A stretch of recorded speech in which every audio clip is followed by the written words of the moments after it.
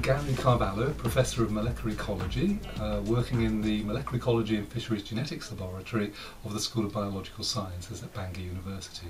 The problem with commercial fisheries is that they selectively remove larger individuals from the population.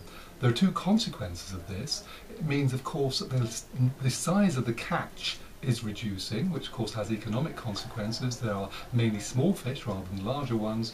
And secondly, it also means that the prospects for recovery are reduced by the fact that smaller individuals will produce fewer young.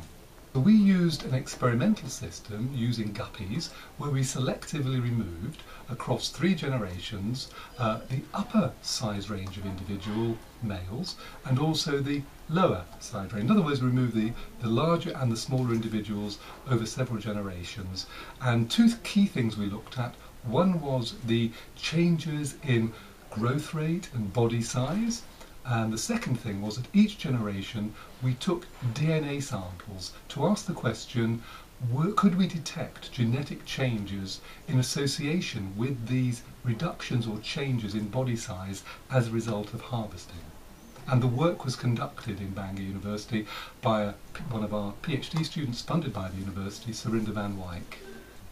So the main significance of our findings was that in association with larger and smaller fish being produced by the selective re removal of individuals was that we found genetically based shifts in their body size and in fact some of the genes that changed in terms of their frequencies were associated with body size giving us a direct indication that fishing actually drives genetically based divergence in body size.